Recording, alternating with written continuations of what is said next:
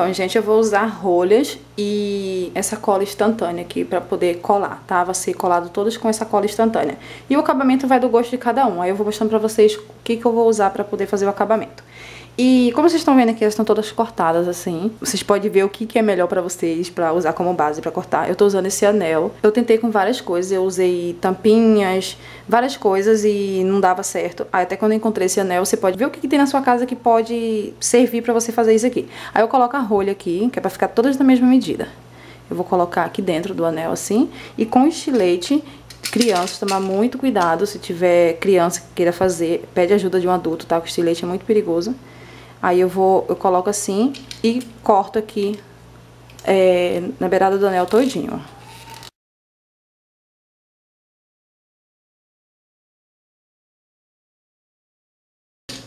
Aí, eu vou cortar todos assim. Aí vão ficar todos na mesma, na mesma medida, tá vendo? Vai ficar tudo no tamanho padrão. Aí eu vou fazer isso aqui e vou cortar a quantidade que eu quero, tá?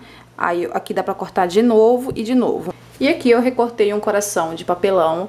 É, eu não mostrei aqui pra vocês, posso deixar esse molde aqui no, no meu blog, vou deixar o link aqui na descrição desse vídeo.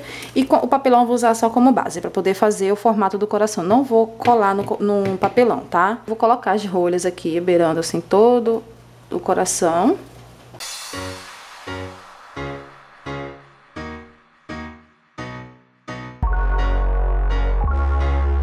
Coloquei aqui em volta de todo o papelão e agora vou fazer a mesma coisa na parte de dentro.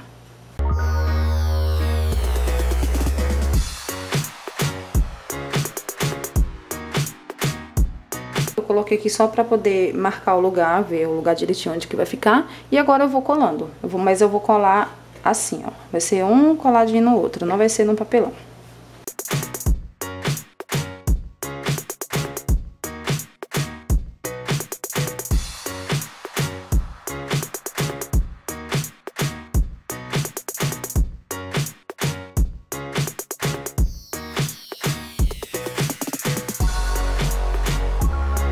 Pronto, gente, já colei aqui a parte de fora todinha. Não vou tirar agora porque ainda tá colando. Agora eu vou fazer a mesma coisa aqui na parte de dentro, só que aqui eu já vou colar assim, ó. Eu já vou colar junto assim. Que é pra colar esse, esse aqui junto com esses aqui de fora, tá? Tá?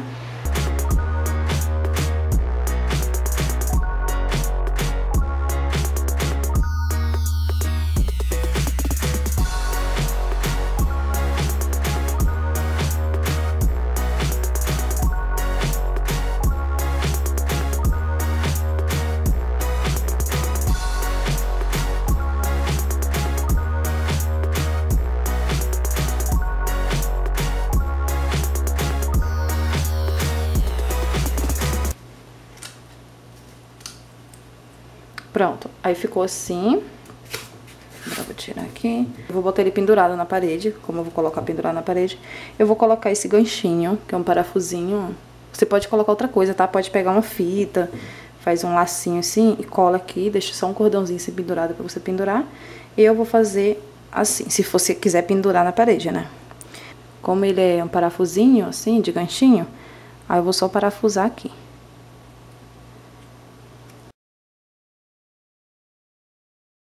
E aqui eu vou finalizar com um lacinho de cinzal. Eu peguei uma cordinha de cinzal e apenas fiz um laço assim. Deixar ele bem rústico mesmo.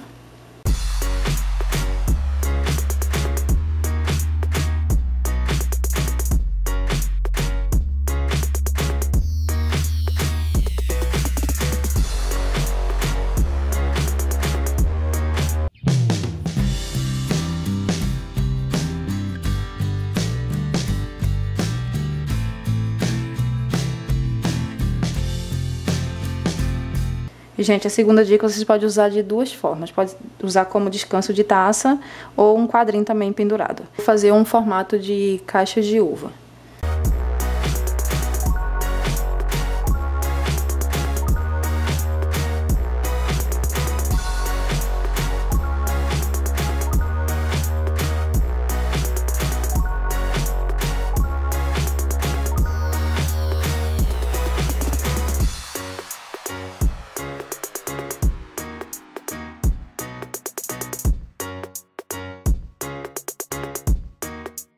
Bom, gente, como vocês estão vendo, eu tentei fazer um caixinho de uva. É, eu vou usar essa folhinha aqui de, uma, de um arranjo artificial que eu tenho. Não é uma folha de uva, mas vai ficar como se fosse. E aqui eu vou colar em algum lugar aqui assim, ó. Aqui. Depois que estiver pronto, vou colocar aqui. Aqui dá até pra colocar outro coisinha aqui. E aqui eu vou usar outro ganchinho desse aqui também. Pode, vou colocar assim. Agora eu vou só colar.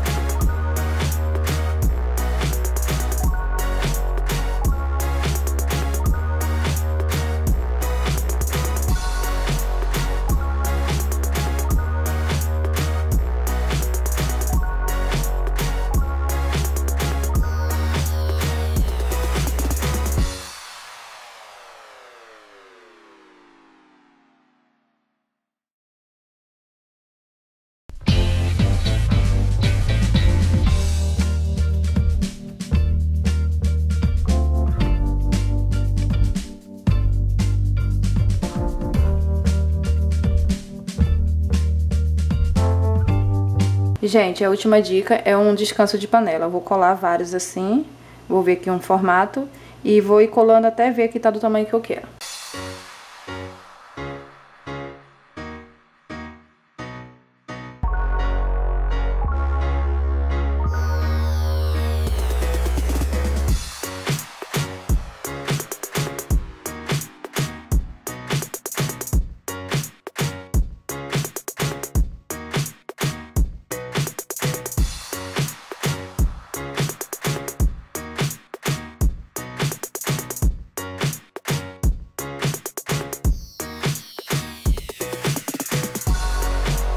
Gente, eu terminei de colar, eu fui colando assim mesmo, bem aleatório, não marquei nada. E aqui agora eu vou pegar a fita de cinzal, que era aquela cortinha, são três partes, eu tirei, separei assim, em partes. E agora eu vou fazer o acabamento aqui por fora. Vou colar o cinzal assim, contornando aqui por fora todinho.